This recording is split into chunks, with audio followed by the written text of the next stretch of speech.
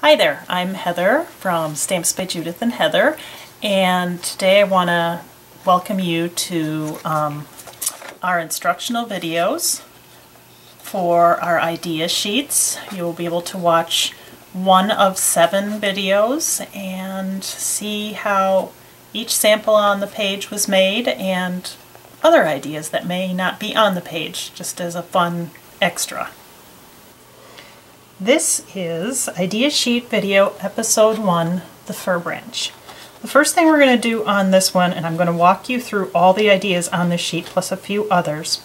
The first one is the tree. So the fir branch stamp, let me set this aside, is this guy. To make the tree, and you can see this on the idea sheet right here, it's the basic shape for the tree.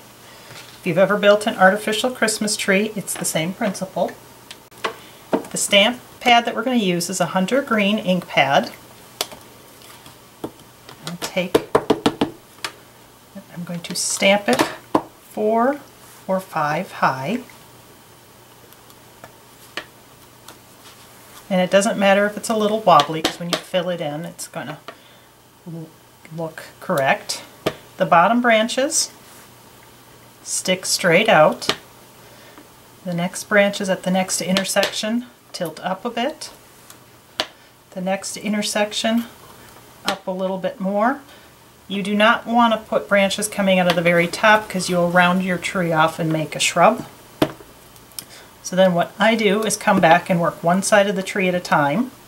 And the reason for that is if I'm flipping back and forth, I will forget to flip one and have the stem sticking the wrong way. As I go up, I'm tilting my branch in so my tree tapers to a point, stamping multiple times so I get dimension in my tree.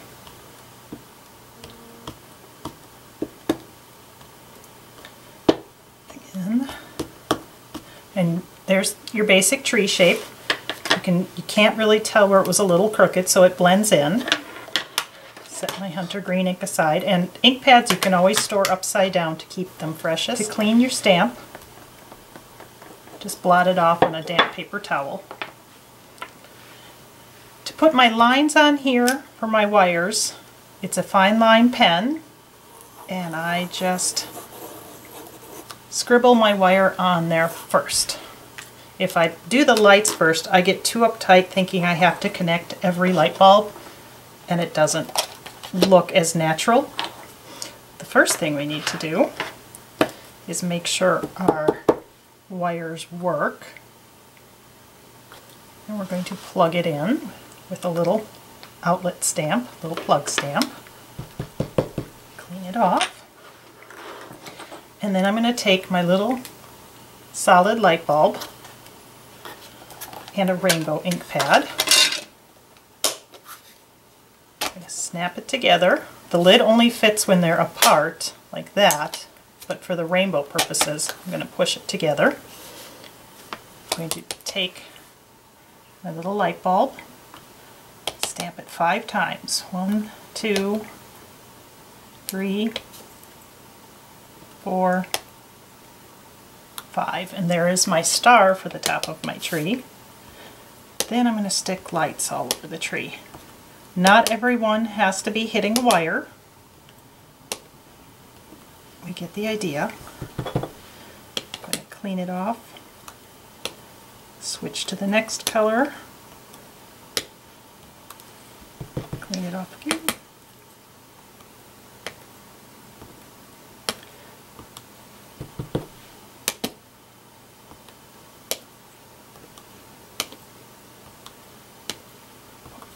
one more color.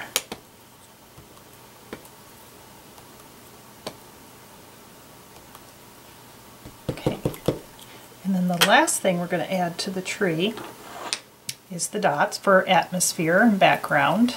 There's the little dots. I'm going to use them in blue and I'm going to just kind of zigzag them back and forth, stamping them off as I go if you find yourself stamping them too heavy the first time, stamp the first generation off and start with the second generation of ink. The next thing I'm going to show you in episode one is how to make the wreath with the fir branch. Again, back to the hunter green ink. And there's my fir branch. You will notice it has just a little bit of a curve to it.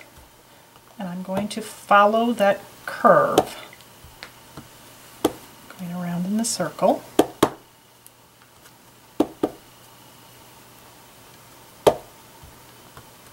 There's my basic wreath shape. Then to fill it in and stop it from going in a continual direction, I'm going to turn my fir branch around and go back on top, filling in the gaps, going the opposite direction.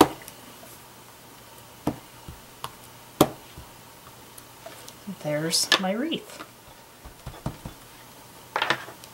Now I'm going to decorate it with some pine cones. There's a pine cone stubby and brown ink.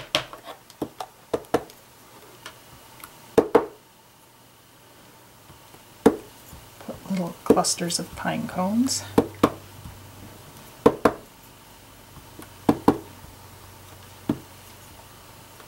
I got that. And then I'm going to come over here back to my rainbow ink. And we want to add some bold leaves.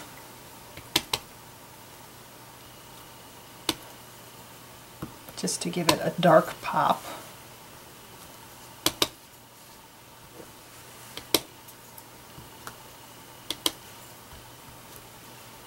Okay, one more there.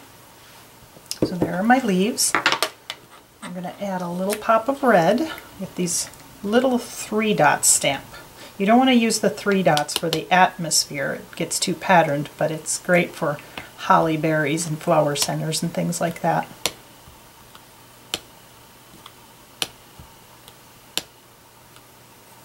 Okay. Then I'm going to go back to my stubby dots in blue, soft touch.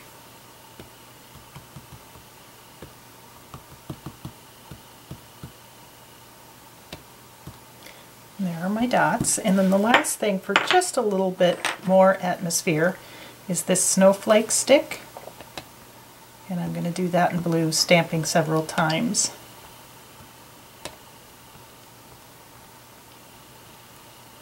And there is your wreath. The third thing on the idea sheet that I'm going to show you is the garland. And these, again, are all with the fir branch.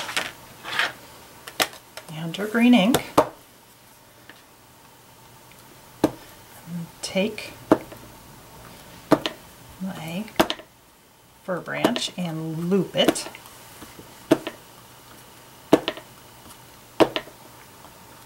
And then I'm going to turn it around, going the opposite direction. Again, fills it in. There's your garland. And then to decorate it, I'm going to take a poinsettia stamp and I'm actually going to blend a little bit with my rainbow ink pad. That's the poinsettia stamp, but I'm going to take and stamp it multiple times so I get a bigger flower.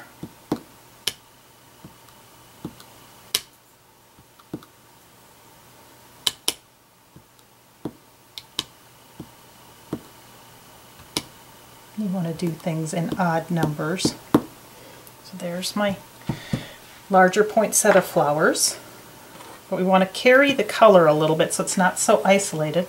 So I'm going to use this little brush flower stick and just add a few little flowers here and there to help pull the color around. I'm going to take this fade out leaf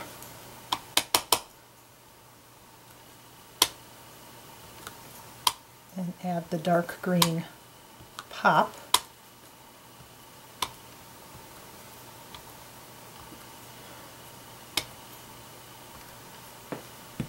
And then the stubby dots in blue.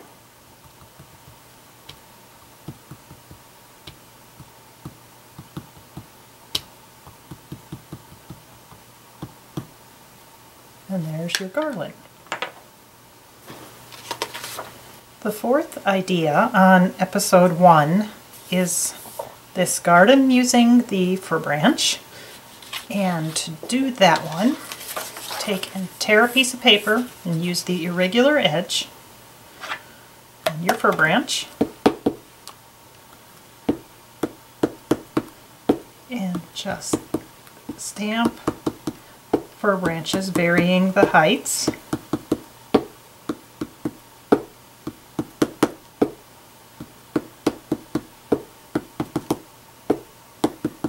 Okay, there we go. And take it away and you'll have your ground line. Now I want to make this pop just a little bit, so I'm going to take my Tombow watercolor markers and add a little soft mossy green. And just little dashes. And then make it pop a little bit with some blue. This is sort of a soft um, purpley blue. And then we want to make this anchored to the ground. So just a soft teddy bear brown underneath.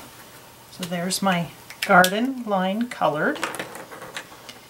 And I'm going to take two little stamps, sticks. And I'm going to start off with the flower.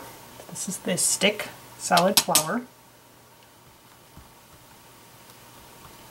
And I'm going to stamp it multiple times before I re-ink. Like.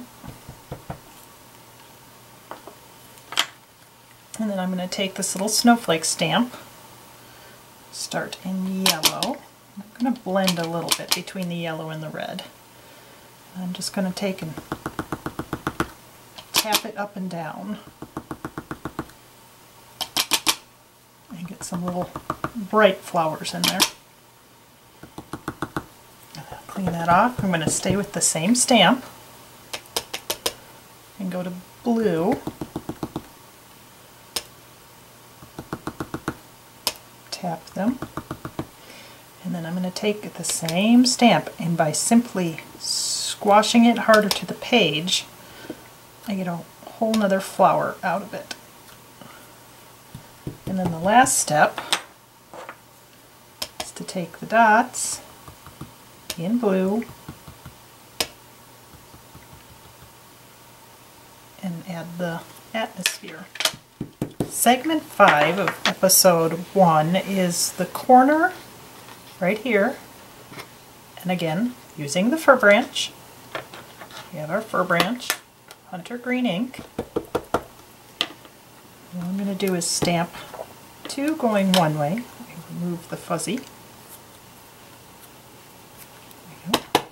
And two going other way. And then turn the stamp around. And there's your corner. Now I'm going to take a little solid balloon my rainbow pad. I'm going to turn, take my solid balloon, spigot down its a balloon, spigot up it's an ornament. I'm going to take my balloon and do three little balloons. Take my fine line pen, put a couple loops on each side of the spigot line going up. You want to tie them to your branch. An extra string if you'd like. And there's your ornaments hanging from your branch. And then back to the dots.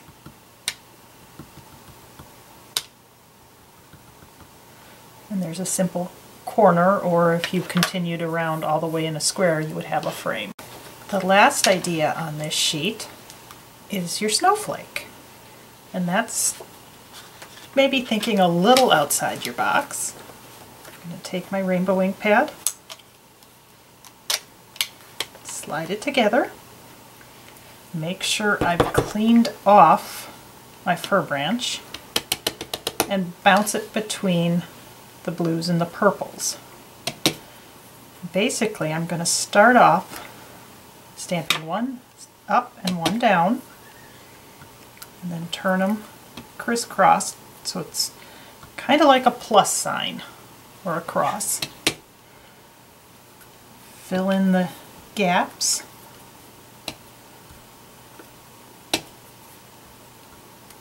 And there's your snowflake. Give it a little bit of extra snow with your dots. And baby snowflakes with the snowflake stick.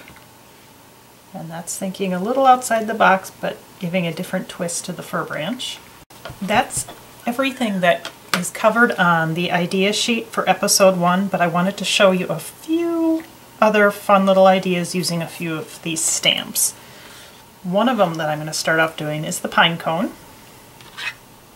I'm going to take my rainbow ink pad I'm going to stamp in the blue and purple. I'm going to have the little pointy part of the pine cone point in, clean it off, switch over to the red and the purple, turn it around so the pointy part of the pine cone is out.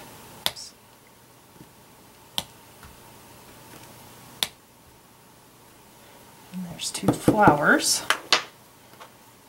We're going to grab this little um, carved leaf stamp.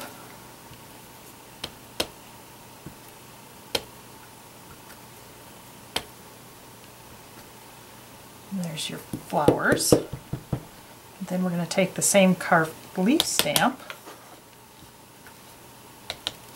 and stamp it in the blues and purples. And this works best when you don't think about trying to line everything up.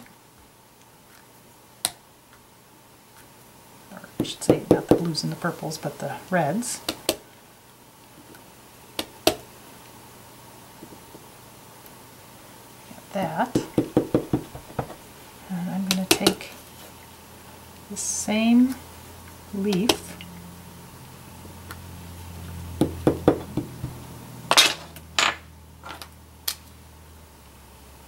a little line in the middle. And there's your butterfly out of the leaf. Thanks for watching this episode of our Idea Sheet instructional videos. Be sure to go to our website at stampsbyjudith.com and check out other cards, ideas, and videos and see what else you can create with what you have of our images. Thanks!